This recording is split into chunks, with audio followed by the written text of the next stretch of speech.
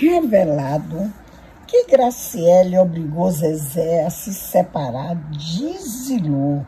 Olha, eu vou falar aqui para vocês, mas se você ainda não está inscrito no canal, você se inscreve, dá aquele like, deixa o seu comentário. O que se fala é vários, várias vezes eu já ouvi falar de que ele queria ficar com as duas.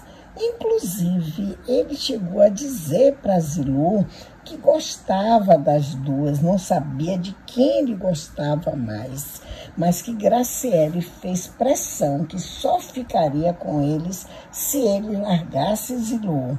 E ele teve que enfrentar e tomar posição não é? Pois é, só que a gente sabe que quem se separou foi Zilu na hora que ficou tudo confirmado, porque por ele até hoje ele estaria com as duas e ela estaria sendo a amante.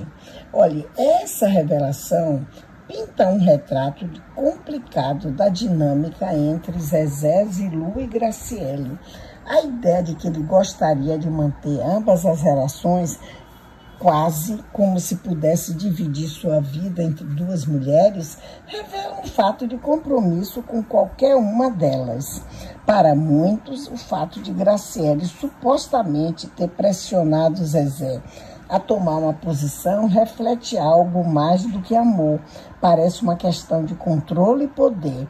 Afinal, se ela precisou exigir uma decisão, fica claro que essa relação começou com insegurança e competição.